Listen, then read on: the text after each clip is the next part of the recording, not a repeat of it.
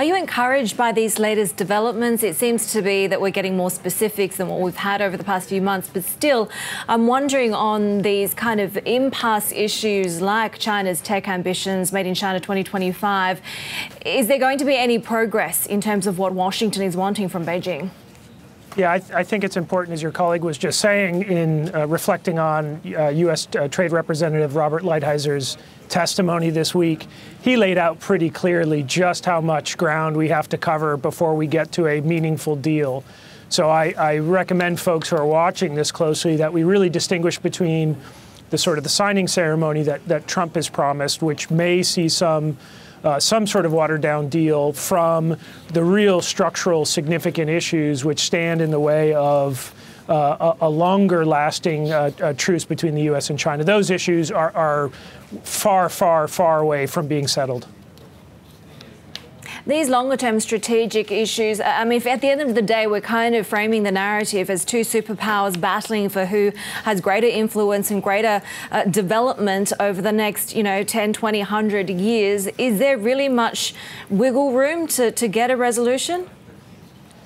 Yeah, I'd recommend you know the, the folks pay a little bit more attention to the discussion in the national security establishment, both you know here in the U.S., but if you were in Ottawa, if, if you were in Canberra, if you were in Berlin, if you're in Brussels, uh, I mean, there's a really strong agreement amongst a, a host of governments and, and uh, government actors that this is not a trade dispute, that this is really a long-term strategic competition between China and many developed nations, democratic nations. That that's going to be a prolonged uh, a prolonged realignment, but it'll be along the lines of uh, the connection between technological innovation and, and national security. We're, we're, seeing this really clearly with the battle over 5G and, and, Huawei. This is where I think folks should be spending their time uh, and attention trying to understand how do you do business and invest in a, in a world um, where national security is the dominant paradigm through which governments are looking at these issues because we're not going back to the status quo ante. I mean, that is that ship has sailed and the trade war, in a sense, is really just a distraction uh, from this much mm. more fundamental shift, which is which is going on right now. How much of the of a distraction is the WTO? Because we are now seeing that they have ruled on Chinese farm subsidies as exceeding their commitments, uh, but at the same time, we have heard President Trump undermine international organizations so much. So even though we're taking this as a victory for the president, does this even count now? Yeah, so first of all, this is not President Trump's victory.